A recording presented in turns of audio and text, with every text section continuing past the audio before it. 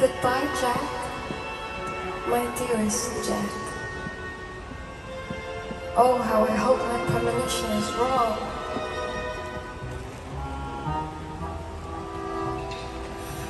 I sense there's something